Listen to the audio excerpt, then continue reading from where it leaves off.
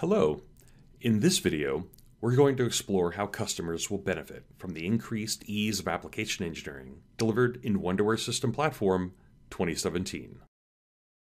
In Wonderware System Platform 2017, application engineers are given a structured framework for their content, which binds it together using our patented context-driven navigation. Let's see this in action. We'll create visualization application the new View App Wizard guides me to select a screen profile that matches the physical screens that I have. A layout gives me structured panes to hold my graphics and pre-built apps. We'll use the one with the navigation tree on the left.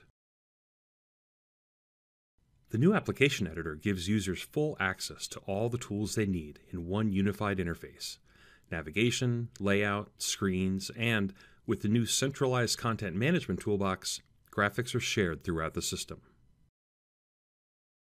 Users can create navigation items and then drag and drop content directly into the layout. System Platform binds those graphics to the navigation without any scripting.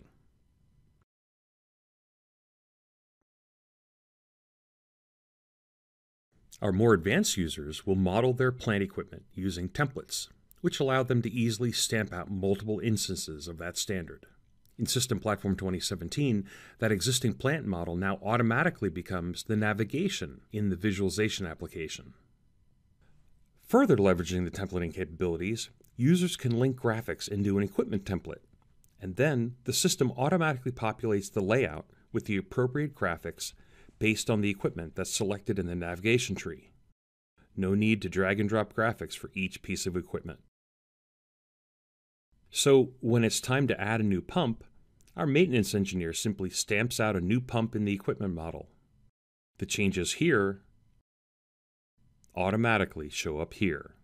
The navigation system immediately picks up the new equipment, knows which graphics to show, and it's now part of the visualization application. All without a single line of scripting.